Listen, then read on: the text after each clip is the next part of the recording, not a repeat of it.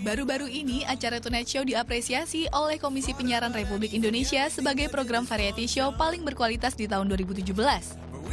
Lalu seperti apa tanggapan Desta dan Vincent sebagai pembawa acara di program tersebut?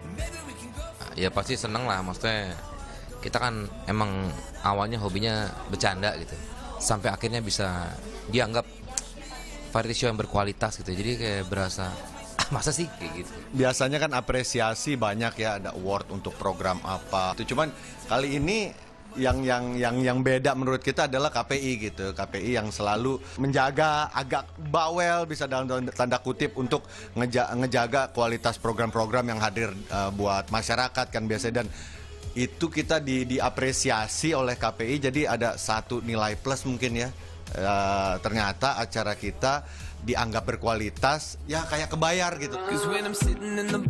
Melihat tingkah mereka berdua yang selalu bercanda saat membawakan acara, Vincent dan Desta awalnya tidak menyangka jika program Tonight Show mendapatkan apresiasi dan disukai oleh para penonton. ya iya ya kalau kalau ini juga ya gitu. Vincent Desta dari dulu ya uh, tercipta di sebuah program yang ngapain aja bebas lo mau ngomong apa aja bebas. Makanya itu dia kalau dibilang sering sering keceplosan apalagi kalau live gitu sering keluar kata-kata. Ya karena memang tongkrongan kan seperti itu Ya. gitu. Cuman kita sebisa mungkin apa yang Menjaga. menjaga yang keluar yang keceplosan itu masih dalam batas-batas kewajaran ya manusiawi gitu. dalam koridornya lah Program Tonight Show dinobatkan menjadi salah satu acara variety show favorit. Vincent dan Desta pun tidak ketinggalan mengucapkan terima kasih kepada penonton setianya yang disebut Tonight Lovers yang selalu memberikan masukan-masukan yang positif.